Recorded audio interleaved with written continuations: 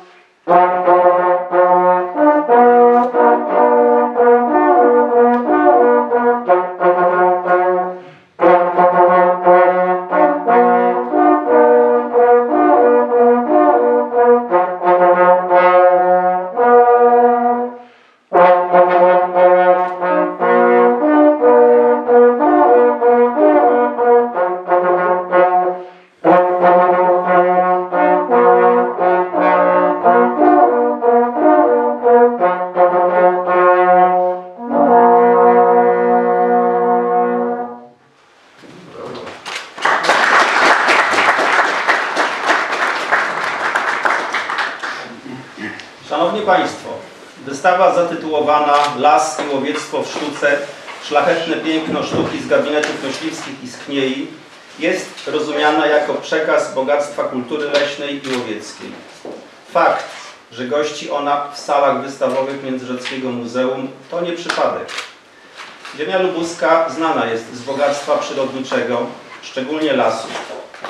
Gospodarka leśna jest nierozerwalnie związana z łowiectwem, które uprawia jako formę kontaktu z przyrodą liczne grono mieszkańców tych okolic. Celem przygotowanej ekspozycji jest ukazanie tej strony działalności leśników i myśliwych, która jest jak dotąd mniej znana naszemu społeczeństwu. Częściej można obejrzeć wystawy związane z trofeistyką, ekspozycje broni myśliwskiej, sprzętu czy myśliwskich współczesnych ubiorów. Znacznie rzadziej natomiast prezentuje się szerszej widowni tę stronę leśnictwa i łowiectwa związaną z kulturą i sztuką. Poprzez naszą wystawę, przeznaczoną dla szerokiej rzeszy odbiorców, a szczególnie dla miłośników przyrody, historii i sztuki, pragniemy ukazać piękno przyrody pokazanej poprzez dzieła utalentowanych artystów, którzy tę przyrodę głęboko odczuwali i rozumieli. Znajdziecie Państwo na wystawie takie elementy kultury leśnej i łowieckiej jak literatura, malarstwo, rzeźba, grafika artystyczna, metaloplastyka, witraże, czy wreszcie fotografia przyrodnicza jako współcześnie atrakcyjna forma artystycznego przekazu. Nie brakuje również akcentów związanych z muzyką inspirowaną lasem i myślistwem. Wystawa nawiązuje niejednokrotnie do tradycji religijnych i patriotycznych w kulturze leśnej i łowieckiej. Zawiera elementy z gabinetów myśliwskich, natomiast kapliczki poświęcone patronom leśnej braci można spotkać w nieodległej Kniei. Nadleśnictwo Bolewice wystąpiło z inicjatywą zorganizowania wystawy w takim kształcie, a Muzeum Ziemi Międzyrzeckiej chętnie podjęło współpracę w tym kierunku jej, jej urzeczywistnienia. Mam nadzieję, że nasza wystawa, oprócz dostarczenia estetycznych wrażeń zwiedzającym, wpłynie na właściwe postrzeganie roli leśnika i myśliwego we współczesnym społeczeństwie. Witam Państwa wszystkich serdecznie, ale przede wszystkim słowa powitania kieruję do gospodarza w naszym województwie, pana wojewoda, wojewody luboskiego Władysława Dajczaka. Witam gospodarza naszej małej ojczyźnie, w powiecie międzyrzeckim, panią starostę Zofię Plewę.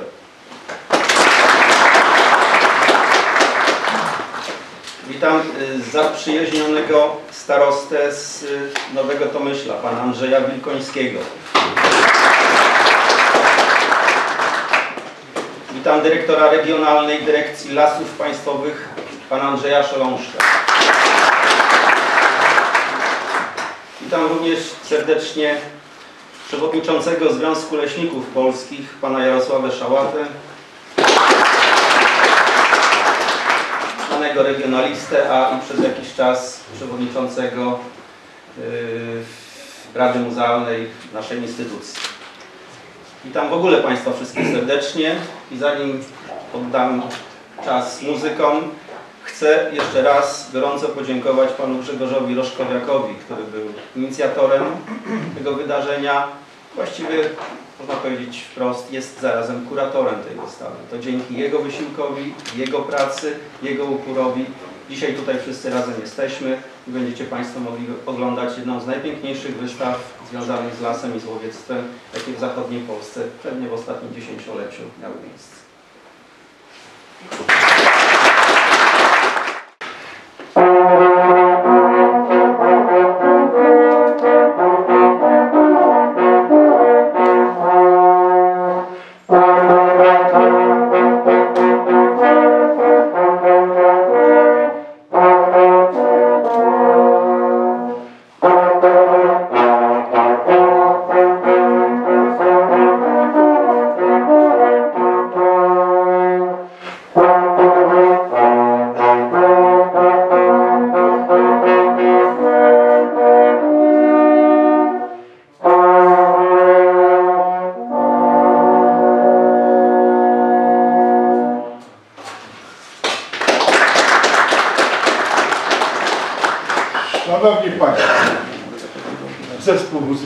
Wawrzysko, działający przy Zarządzie Okręgowym Polskiego Związku Łowieckiego Poznaniu, powitał Państwa fanfarą, która właściwie została specjalnie skomponowana na powitanie gości, na powitanie myśliwych, leśników, a napisał ją przed ładnych paru laty, już niestety dziś nieżyjącym, myśliwy z Bydgoszczy, mój serdeczny przyjaciel Czesław Trybus, który w swoim dorobku no, tych różnych utworów ma większego formatu i takie właśnie krótkie i bardzo krótkie, które jeszcze właściwie światła dziennego nie, zobaczyły. Ale to jest jedna z fanfar, która trochę nawiązuje do takich starych francuskich fanfar sprzed ładnych paru wieków, z XVII właściwie wieku, do fanfar e, pisanych między innymi mm, przez markiza de Lampierre. Teraz chcielibyśmy e, zagrać Marsz Pszczyński. Zapewne Państwu mm, wiadomo, że pszczyna właściwie jest taką kolebką muzyki sygnałów, muzyki myśliwskiej. Tam bowiem te sygnały zrodziły się, może nie dosłownie jako kompozycja, ale zostały zebrane przez, mm, to był XIX wiek, przez Jana mm, Henryka XI, pana na Pszczynie i wspólnie z miejscowym księgarzem, wydawcą Józefem Rosnerem wydali taką książeczkę z sygnałami myśliwskimi i było uzupełnione 10 marszy, jak się nie mylę, napisane przez Rosnera.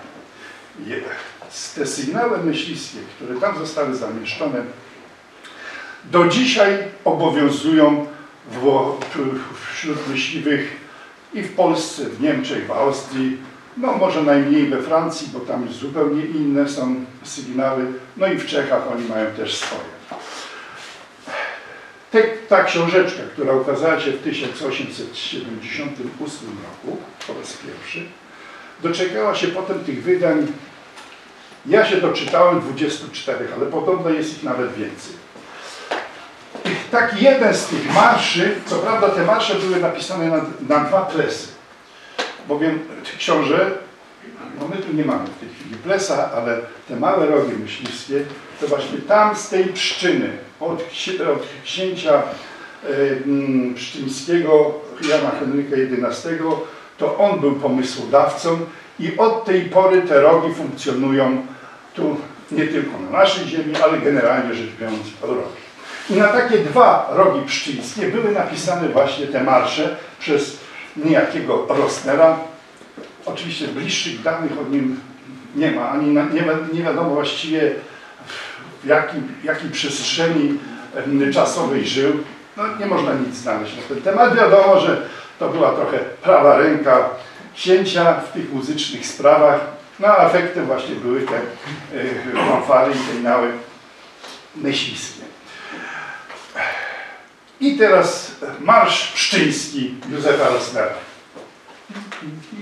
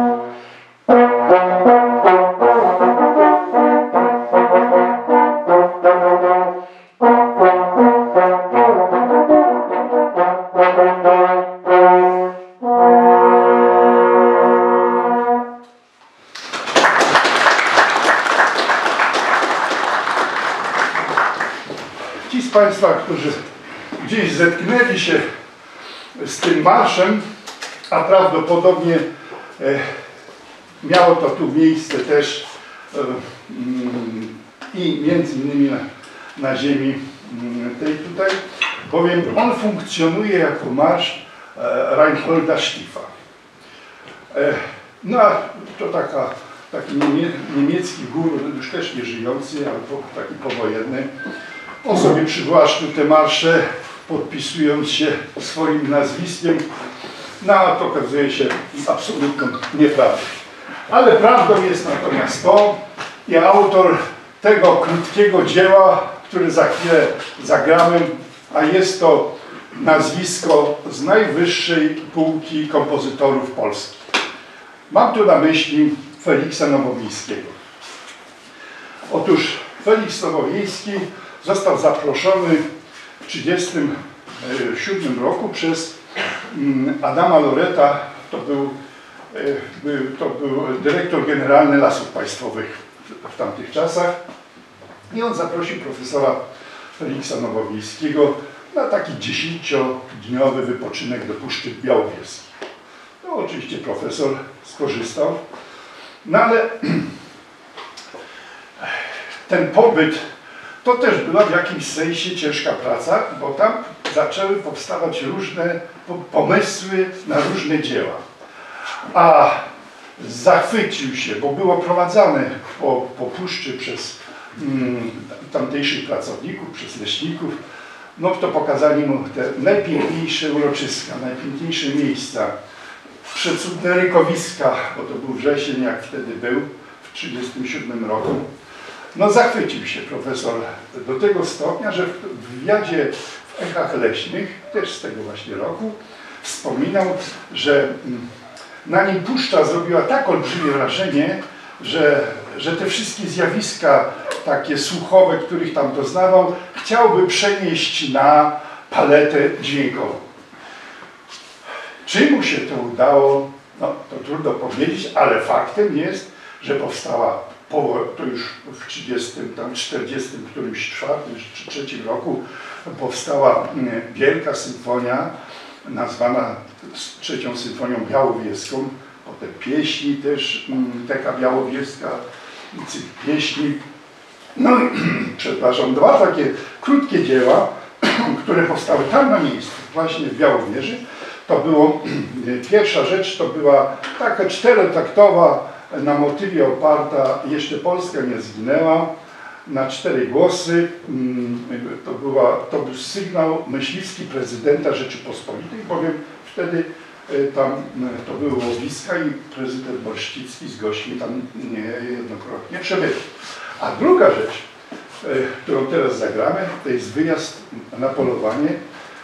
I tu profesor zapowiadał, że to będą, że od tego mm, sygnału to był pierwszy, pierwszy sygnał, który miał zapoczątkować polskie sygnały na śmierć różnej zwierzyny. No oczywiście nie spełniły się jego marzenia, bowiem wojna, kłopoty z gestapo i te różne historie e, brzydkie i potem śmierć w 1946 roku. Ale pozostawił wyjazd na polowanie. Proszę posłuchać. To jedna z nielicznych kompozycji w polskiej literaturze e, z tak wielkim nazwiskiem. A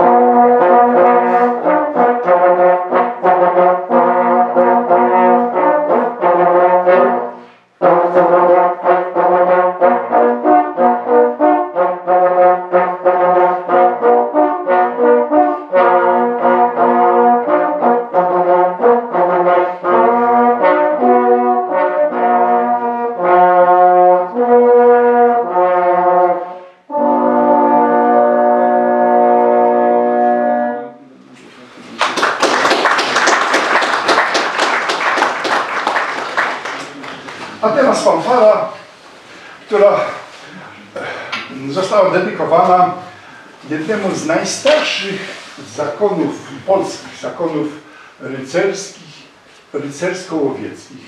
Mówię tu o mm, Legnickim. e, To jest zakon obroża Sagończego, tak to się pra- prawidłowo nazywa, a w skrócie jako e, zakon Rudenband.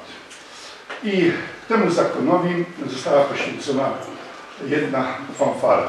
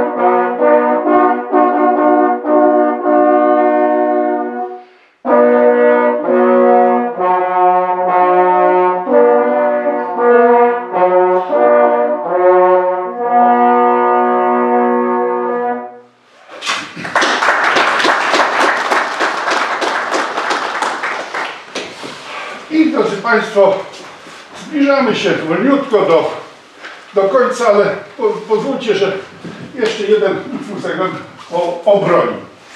Ale nie o broni jako dziewczynie, tylko o broni jako e, narzędziu używanego w czasie polowania. A historia właśnie tak, e, że zostały napisane słowa e, przez niejakiego Zaczyka, który krótki wierszyk opowiadający, jak to trzech myśliwych spotyka się i tam, po, po polowaniu oczywiście w, w, w gospodzie. No i zaczynają się przechwalać, kto co jak e, potrafi strzelać cennie. No i pierwszy mówi, a to tam e, jak e, mam taką szczelbę, że to tam na 200 kroków zawsze z zająca trafi. Drugi mówi, o człowieku, mój dziadek e, to miał takie oko, że jak strzelił, to do tego zająca doszedł, to już on był sztywny. No to ten trzeci nie wytrzymał, powiada, chłopy, to co wy tam opowiadacie, to jest nic. Mój stryj, ten miał oko, Słuchajcie, na polowaniu to nieraz się tak zdarzało, że jak trafił zająca, a polowali wtedy konno, to zanim na koniu dojechał i go podnosił, to już zajęczysko śmierdziało. Ile w tym prawdy, to tylko myśliwi wiedzą. I do tego została ułożona muzyka, a tytuł krótka muzyka, do której oczywiście są też słowa, no ale mm, no nie zaśpiewamy również. Thank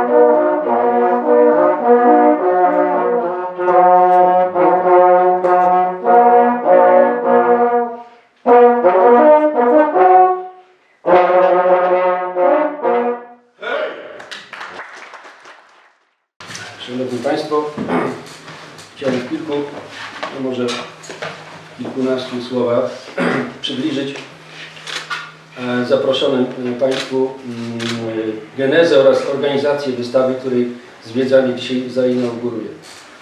Duże zainteresowanie, jakie wzbudza znajdująca się od kilku lat w posiadaniu Nadleśnictwa Boliwice mapa lasów polskich z 1938 roku, będąca jednym z kilku ocalałych egzemplarzy, sprawiło, że zrodził się pomysł udostępnienia jej dla szerszej publiczności. Doceniając także dorobek fotograficzny Grzegorza Gaczyńskiego, namawiam Pana Nadleśniczego do pokazania wykonanych przez siebie zdjęć przyrodniczych nie tylko w sieci, ale i na sali wystawowej. Przy okazji wernisażu innej wystawy w Muzeum Międzyrzeczu zapytałem pana dyrektora Andrzeja Kirwiela, czy nie zechciałby udostępnić wnętrz przeznaczonych na wystawy czasowe dla nadleśnictwa w celu zorganizowania wystawy. Pan dyrektor wyraził zgodę i ustaliliśmy, że wspólnie zorganizujemy wystawę inspirowaną lasem z terminem jej udostępniania publiczności od 20 stycznia do połowy kwietnia 2022 roku. Jednak egzemplarz mapy lasów oraz fotografie nie były w stanie wypełnić całości wnętrz, które nam chętnie udostępniono. Stąd postanowiliśmy znacznie poszerzyć liczbę eksponatów. Mając wiedzę o licznych, świetnych kolekcjach będących w posiadaniu kolegów leśników i myśliwych oraz ich rodzin, zwróciliśmy się o pomoc w organizacji wystawy. Wszyscy bez chwili wahania przyjęli zaproszenie. Wystawa została podzielona na kilka części. Otwiera ją mapa lasów polskich z 1938 roku, pokazana na dwóch, w dwóch wydanych formatach. Są to egzemplarze unikatowe, tak zwane białe kruki. O historii mapy pisze szeroko kolega Jarosław Szałata w publikacji, którą wydaliśmy przy okazji wystawy, a którą Państwo dzisiaj otrzymaliście. E, Jarek jest leśnikiem, przewodniczącym, związ... em, przewodniczącym Związku Leśników Polskich, dziennikarzem, działaczem samorządowym, publicystą. Witamy Pana Jarka, jest na sali. W dniu dzisiejszym będzie możliwość przybliżenia niezwykłej historii mapy stworzonej przez leśników z lat międzywojennych przy okazji zwiedzania wystawy. Obok mapy polskich lasów e, swoje prace wykonane w drewnie, a inspirowane tematyką łowiecką przedstawił zwiedzającym dyrektor RDLP w Szczecinie, pan Andrzej Szelążek, leśnik w trzecim pokoleniu, społecznik, regionalista, autor książki Dzieci wojny, historie prawdziwe, ocalić od zapomnień. Jak pisze o sobie, moja praca jest moim życiem, z tym jestem związany od dziecka. Miłość do polskiej przyrody objawia się tu u mnie na polu zawodowym i prywatnym. Idąc dalej, zapoznają się Państwo z licznymi fotografiami autorstwa Nadleśniczego Nadleśnictwa Bolewice Grzegorza Gaczyńskiego. Pan Nadleśniczy jest dzisiaj z nami. Witamy. Przedstawiają one bogaty świat zwierzęcy w naturalnym otoczeniu. Zdjęcia zostały wykonane na pograniczu Wielkopolskiej ziemi lubuskiej i tworzą kolekcję trofeów bezkrwawych łowów, jakie były udziałem myśliwego Grzegorza. Przedstawiona kolekcja jest przykładem twórczości artystycznej za pomocą aparatu fotograficznego, dająca wiele satysfakcji jako sposób poznawania przyrody i przybliżenia jej innym. Po stronie prawej od wystawy zdjęć w niewielkim korytarzu umieściliśmy ekspozycję banerów przedstawiających naszych wielkich rodaków, których pasją życia było myślistwo. Możemy się z nimi zapoznać dzięki uprzejmości kolegi Wojciecha Matysiaka z Klubu Kolekcjonera i Kultury Łowieckiej przy Zarządzie Okręgowym PZD w Poznaniu. Niestety pana Wojtka dzisiaj nie ma zachorowań. Poza banerami wystawionych jest kilka rzeźb w drewnie Henryka Grudnia, rzeźbiarza amatora z niedalekiego Gardzka, koło Strzelec Krajeński. Jest pan Henryk z nami dzisiaj. Witamy. Następnie przejdziemy do pomieszczenia, które na potrzeby wystawy zagospodarował autorsko znany z, z wydanych wielu publikacji i wystaw, a przede wszystkim właściciel wspaniałej kolekcji grafiki europejskiej, emerytowany leśnik, kolega Ryszard Wagner. Panie Ryszardzie, witamy. Tym razem kolega Ryszard, doskonały znawca tematu, przygotował ekspozycję, którą zatytułował Kultura twórcza rola lasu w rozwoju człowieka. Przedstawia ona impresje leśne w grafice, w malarstwie akwarelowym i wykonanym techniką temper. Przedstawione dzieła zostały selektywnie wybrane z bogatego zbioru według założonego z góry planu. Podziwiając wszystkie zgromadzone obiekty, proszę zwrócić uwagę na liczne ekslibrisy zebrane z różnych stron świata, należące często do wybitnych postaci, mające wspólny mianownik, gdyż powstały pod wpływem fascynacji światą przyrody. Następną część wystawy poświęciliśmy niestety nieżyjącemu już wspaniałemu komponowi, i artyście, Stefanowi Szkudlarkowi. Stefek polował również na terenie naszego nadleśnictwa. W czasie pobytu w łowisku powstało wiele obrazów inspirowanych lasem i przygodami łowieckimi. Zdobią one domki i pokoje myśliwskie w kraju i poza granicami. Były też pokazywane przy okazji wystaw czy imprez organizowanych w ramach działalności Polskiego Związku Łowieckiego. Dzięki uprzejmości rodziny Stefana Szkudlarka oraz przekazanym obrazom przez kolegę Adama Pica, działacza łowieckiego i samorządowego, prezesa Koła Drog, udało się zgromadzić niestety tylko na miastkę prac Stefka. Pan Adam jest na sali z nami, tak? Witamy. Kolejna część wystawy przedstawia gabinet myśliwski. Złożyły się na tę ekspozycję eksponaty z mojej skromnej kolekcji oraz kolegi Henryka Leśniaka. Witamy pana Henryka, jest z nami. Wystawę uzupełniają obiekty udostępnione przez kolegę Wojciecha Matysiaka.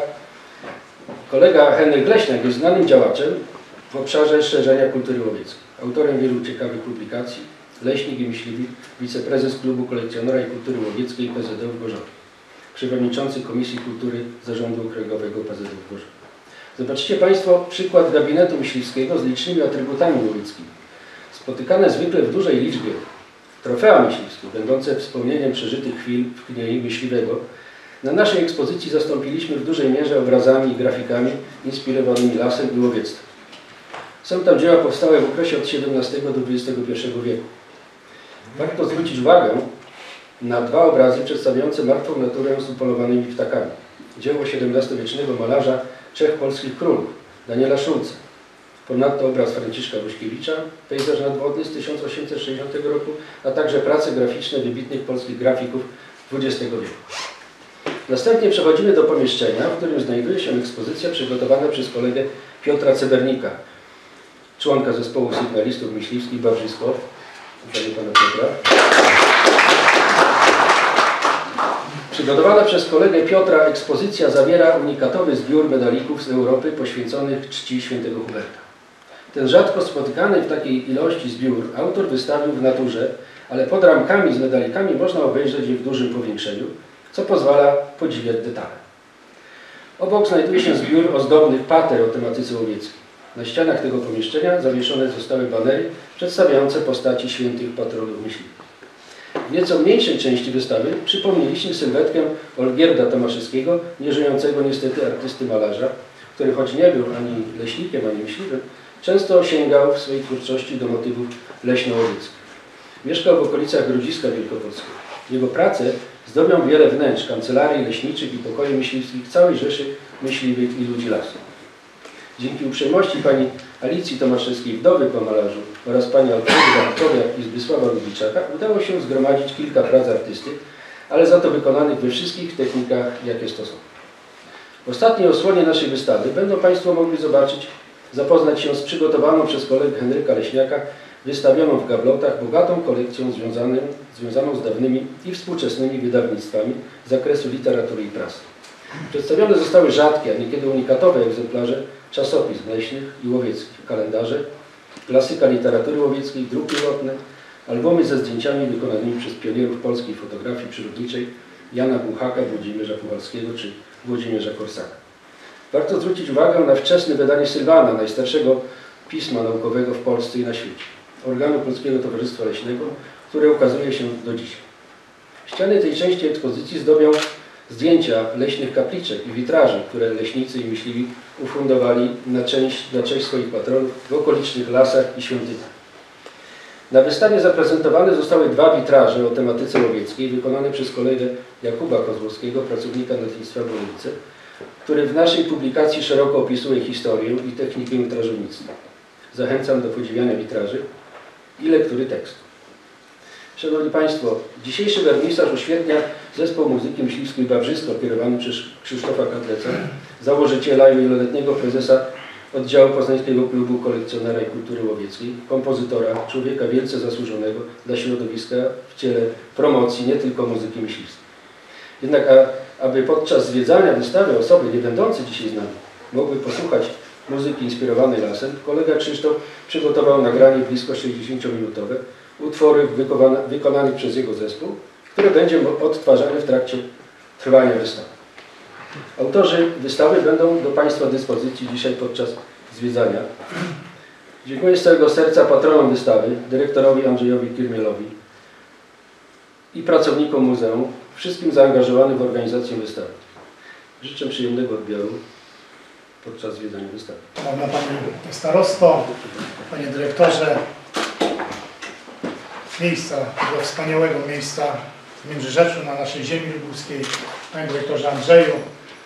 Szanowni Państwo, jesteśmy w wyjątkowym miejscu i jesteśmy na wyjątkowym wydarzeniu.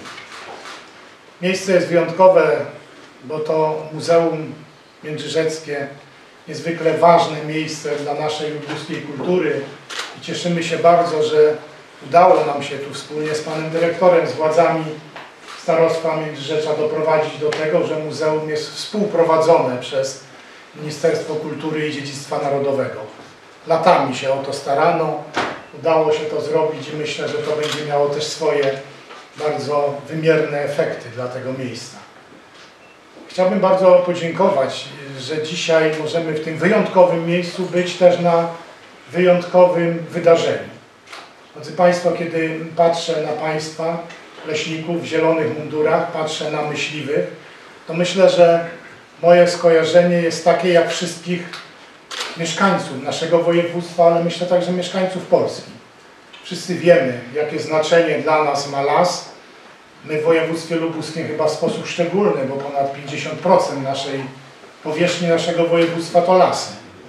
I wszyscy jesteśmy wdzięczni i wiemy, jak ogromną pracę, niezbędną i ważną dla naszej egzystencji, bo śmiało możemy tak mówić, czynicie Państwo, właśnie leśnicy, myśliwi, aby ten wspaniały ekosystem pełen bioróżnorodności, ale jednocześnie funkcjonujący jako jeden organizm, był zachowany, był zadbany i aby był nienaruszany, aby mógł dla nas służyć, bo przecież wszyscy od dziecka wiemy, że to są nasze płuca.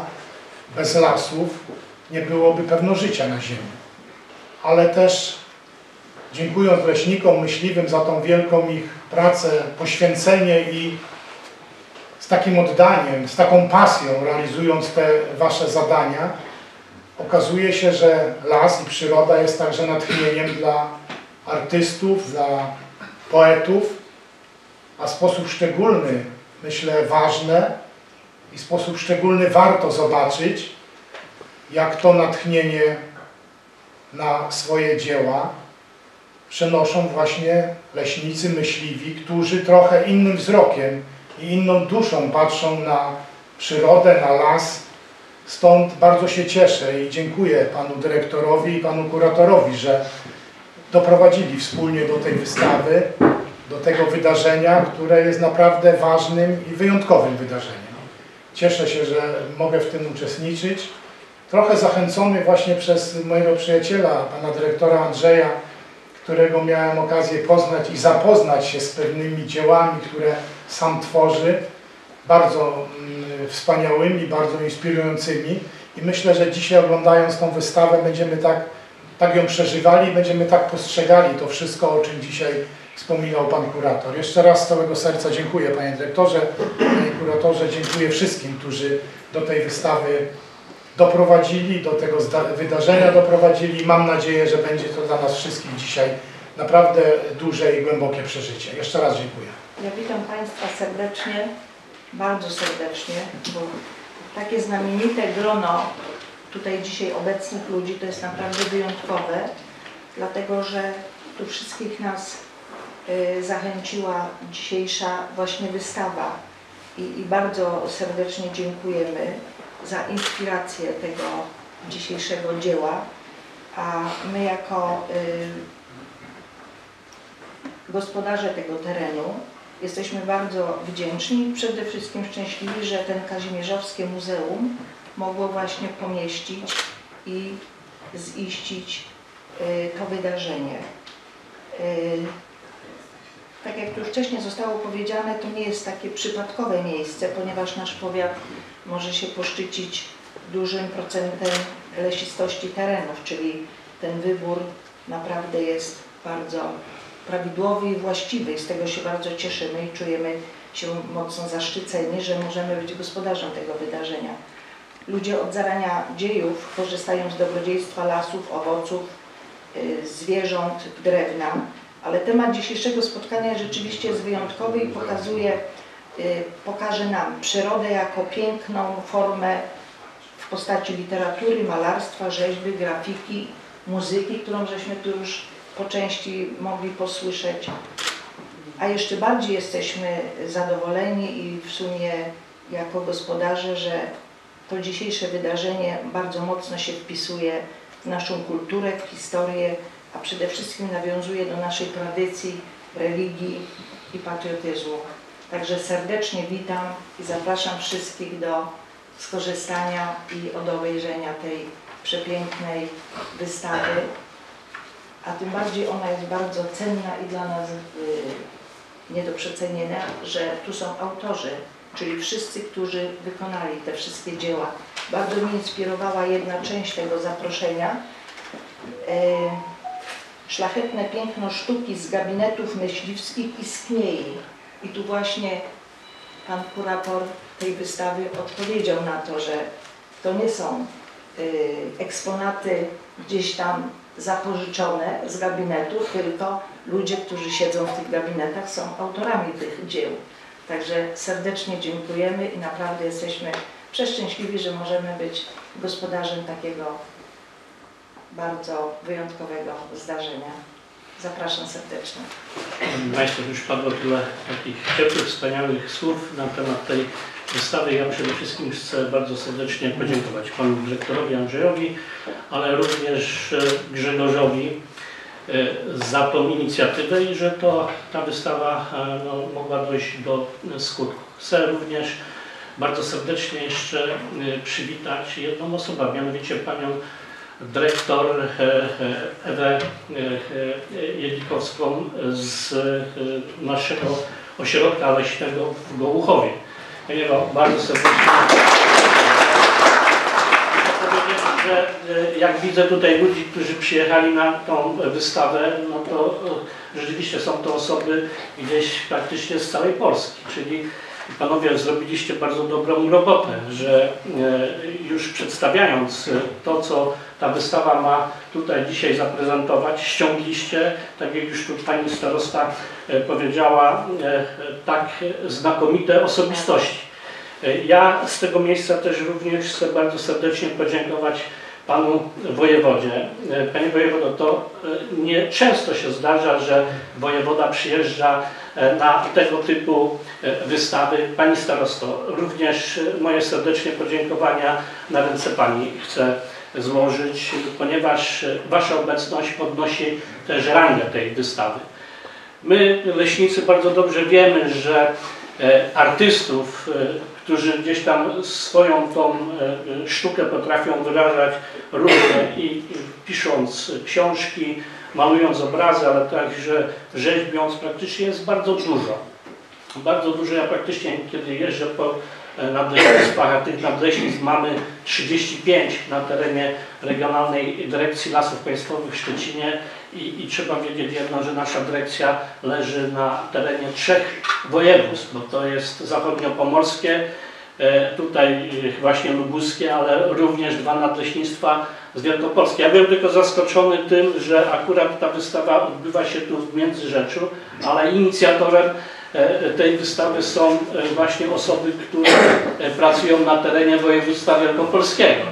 E, tak, także to jest e, też dla mnie dość takie, powiem, duże e, zaskoczenie. Ale liczy się ten efekt i przede wszystkim to, że te nasze prace, które gdzieś są tam w ukryciu, w lesie, właśnie w tych gabinetach leśnych często robione, one mają możliwość przez tego typu wystawy wyjście do, do, wyjściem do społeczeństwa. Także e, tu Państwo możecie się dowiedzieć, że właśnie wśród leśników jest wielu artystów, bo przecież e, ludzie, leśnicy, tak, to są osoby, które pracują z przyrodą e, w lesie, są bardzo powiązani i to już nie od dzisiaj się mówi, że to są ludzie natchnioni też przez tą przyrodę. E, Jeszcze raz chcę bardzo wszystkim serdecznie podziękować. Muszę powiedzieć, że tu e, udział mój to akurat jest niewielki, bo ja cztery swoje gdzieś tam ostatnie prace oddałem. Zresztą muszę powiedzieć, że jedna z tych prac e, to akurat jest wykonana na drewnie lipowym, które zostało dostarczone z nadleśnictwa Czciel. Nie z Międzychowy, nie z Międzychowy, bo, bo też dostałem drewno do rzeźbienia z Międzychów. Ale tutaj jest też pan Józef Jęcz, który gdzieś mi tam, nie powiem, e, dostałem e, paczkę przed świętami i już zdążyłem e, zrobić, wykonać właśnie jedną z prac. Myślę, że tych prac by było wśród leśników na pewno więcej. Tak? Tu jest właśnie też i Jarek Szałata, który jest bardzo zafascynowany właśnie przede wszystkim tym, co się dzieje w lasach i bardzo często gdzieś Państwo widujecie kaplice, tak? czy kapliczki leśne. One są gdzieś wbudowane na drzewach, e, bardzo często wkomponowane w te środowisko. Do mnie też zwróciło się nadleśnictwo Hojna, żebym taką kapliczkę wykonał. Wykonałem, muszę powiedzieć, że na otwarcie tej e, kapliczki przyjechał doradca prezydenta Dudy, także takie e, osobistości i przede wszystkim e, jest zawsze przy tych okazjach podkreślane e, e, jedna rzecz, że leśnicy właśnie kultywują tradycję i, i tą tradycję e, e, przechowujemy, e, staramy się przekazać też dla młodych pokoleń. I też do tego leśnicy, którzy biorą udział w różnego rodzaju tego typu imprezach, ale też i, innych, tak? wciągają te młode pokolenie i już zaszczepiają ten kult właśnie tradycji tak, łowieckich, myśliwskich, e, leśnych, ale przede wszystkim też kult związany e, z naszym e, kościołem. Ja oprócz tych motywów właśnie e, e, leśnych, myśliwskich też e, już wykonałem e, kilka prac związanych e, e, właśnie z kultem, tak, e, z religią i trzeba powiedzieć, że e, e, no, e, nie spodziewałem się takiego odbioru, bo, ponieważ tak naprawdę zacząłem rzeźbić dokładnie rok i 8 miesięcy temu, a już wykonałem chyba około 20 prac, także cztery z tych, cztery z tych prac znalazło się dzisiaj tutaj na wystawie. I też bardzo się cieszę, że tam, gdzie są tego typu uroczystości, tego typu imprezy, zawsze są uprawiane tą tradycyjną tak, muzyką myśliwską i tutaj jestem pełen podziwu dla wiedzy e, e, szefa tak, e, zespołu, że e, potrafi umieścić tak, też tą muzykę w tych tradycji właśnie e, i skąd ona się wzięła i dlaczego akurat jest grana i dlaczego towarzyszy na, na tego typu imprezach. Także proszę Państwa, jeszcze raz zachęcam do oglądnięcia tej wystawy i cóż, jeszcze raz bardzo wszystkim serdecznie dziękuję e, wszystkim osobom, które, którzy, które tu przyjechały na tę e, wystawę i e, mówię, no, z, z dalekich krańców Polski. Dlatego jestem pełen podziwu. Jeszcze raz głęboki szacunek i moje głębokie uznanie i podziękowanie.